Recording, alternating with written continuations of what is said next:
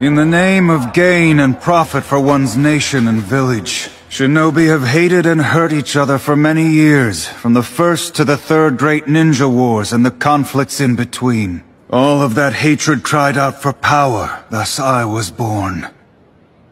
In the past I was hatred, and power, and a Jinchuriki.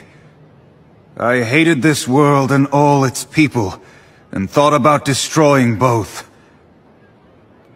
But then, a single shinobi from the Hidden Leaf Village stopped me. He cried for me. I was his enemy, yet still he cried for me. And he called me his friend, even though we had battled. He saved me. We were on different sides, but we were both Jinchuriki. Between those who have experienced the